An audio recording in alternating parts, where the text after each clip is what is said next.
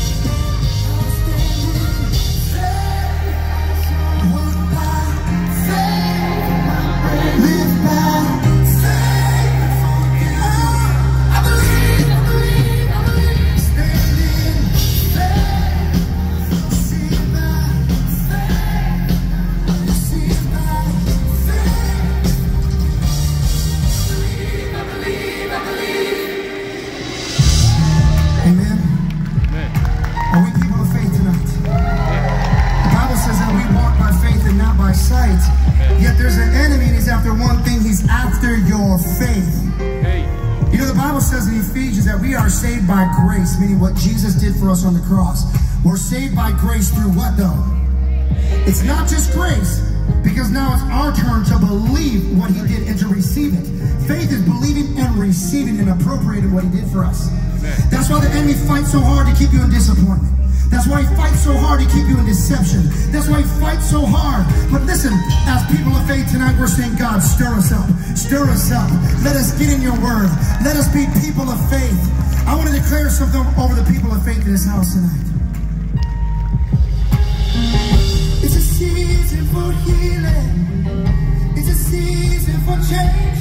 To see miracles happen and no one can fathom